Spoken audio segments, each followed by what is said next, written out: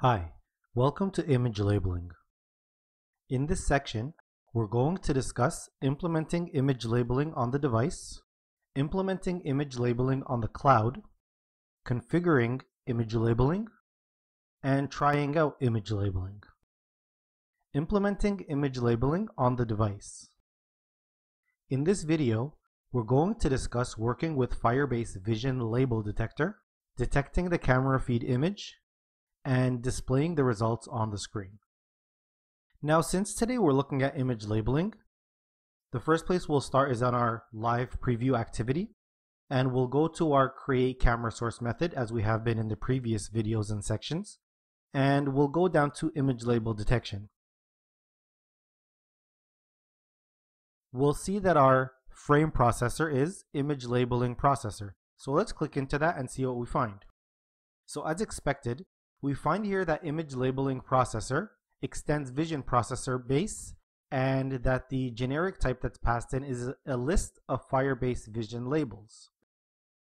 We'll get the Firebase vision label later, but as you can imagine from the previous sections and videos, that this just contains the data that's found when detecting a label. So it'll likely just contain a string of what it detected. Now the important thing here is in our constructor, we see the instantiation of detector, and that is a Firebase Vision label detector.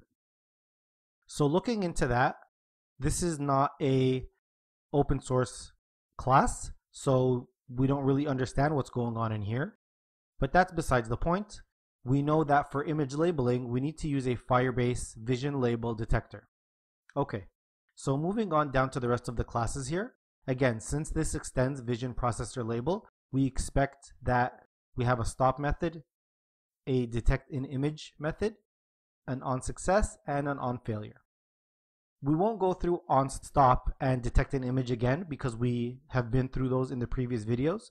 But we know here that it just returns detector dot detect in image, passing in the Firebase Vision image. Now looking at the on success, this is where the results get displayed on the image. So the first thing is it clears the graphic overlay, and then it creates a label graphic, and then it adds it to the graphic overlay. Okay, so let's look at label graphic. So label graphic, as we can see, it extends a graphic, so it's something that's displayed on a graphic overlay. And basically the method that we want to look at here is draw. So in draw, here we just get the x and y coordinates of the overlay itself. And then we loop through the labels that we got back. So within Firebase Vision Label, again, this is not open source, so we get a bunch of uh, obfuscated variable names.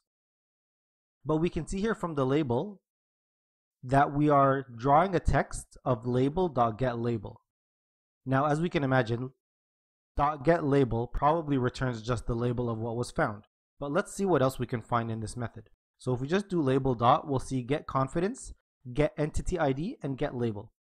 So what these are is get confidence is basically when you show an image of a dog, for example, and then the ML kit returns dog or cat, for example, it'll give a confidence level. So it'll say this image is either a cat or a dog, and I am 10% confident that it's a cat, and I'm 90% confident that it's a dog. So within our logic in our code, we can say, for example, only label this if label dot get confidence is greater than 0.9. So then what we're doing here is we're saying only label something on the image feed if we are confident about it. Let's leave this out for now, but we will look at it a little bit later.